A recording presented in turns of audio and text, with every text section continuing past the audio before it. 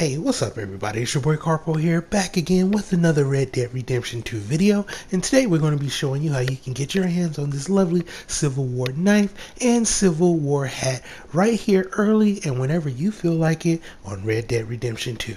Now, in order to get this bad boy, you want to be heading to the shack that you see right here to the right inside of this old abandoned Civil War fort.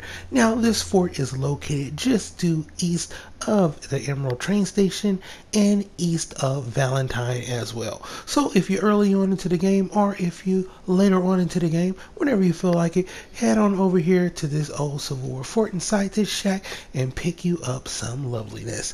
Now, when you head in there to the right, right here on this table, there will be a little cigarette collector's card, so pick that up as well.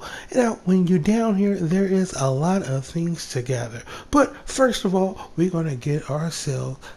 the Civil War knife. And here it is, the Civil War knife. And it is pretty nice if I do say so myself.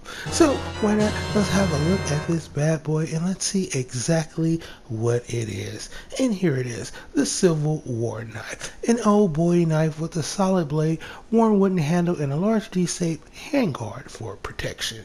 Now, also while you're down here, make sure you pick up all the different cartridges, items. Got a lot of stuff down here. You got a lockbox and even a chest with a golden nugget. And before you leave up out of here, don't forget we have our second item, and that is the lovely Civil War hat. And that is nice as well. So boom, we got our Civil War knife and our Civil War hat right here in the same location. And before you get out of here, head up to the tower. You have a second, that's right, a second collector card for you to grab as well.